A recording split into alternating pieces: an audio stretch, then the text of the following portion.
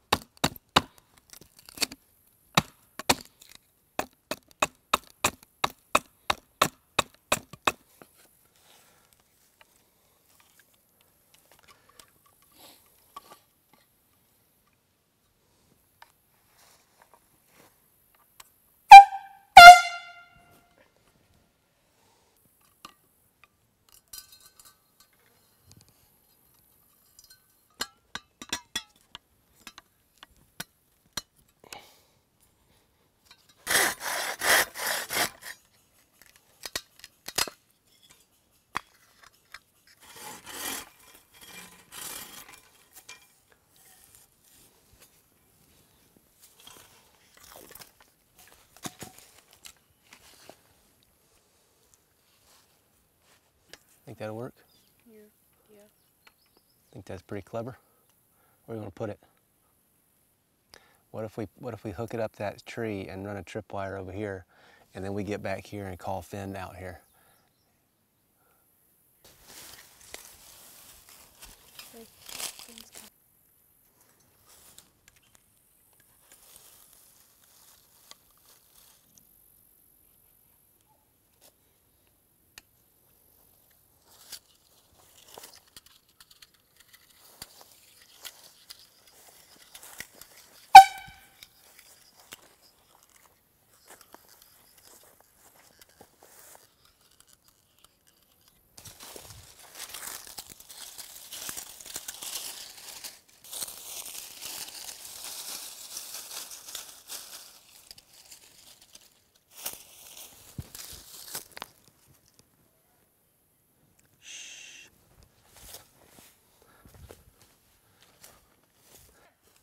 Run fast, run fast, run fast.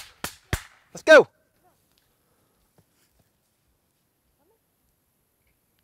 Guys, stop! Look for stuff. Finn's too smart. There's nothing here. I just like to jump. yeah, like I don't see that, Coy. Finn's too smart for it. Oh!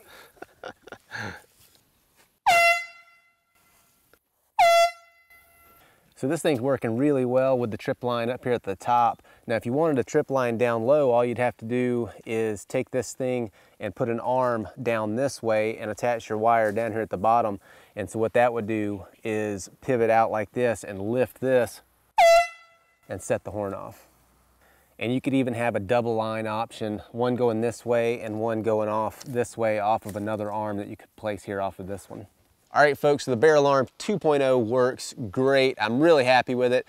And if I was in that situation again where I had to protect my meat against the bears, I would probably build something like this. The one that I had out there actually worked pretty well, but this one works a lot better. Now you could take the same concept and replace that air horn with a bear banger or even bear spray, but that could get a little dicey, especially if you forget about it and walk into your own trip line, you're gonna get maced. All right, guys, that's gonna do it for this video. I just wanna remind you, we do have the shelter build video coming up. I'm gonna be rebuilding the smokehouse and then also uh, later this fall, hopefully, I'm gonna be able to shoot a deer and we're gonna smoke the whole thing in that smokehouse just like I did on the season. Uh, so if you're not subscribed to the channel, go ahead and do that. Hit that bell icon down there, it'll turn on notifications and we will see you on the next episode of Alone Thursday.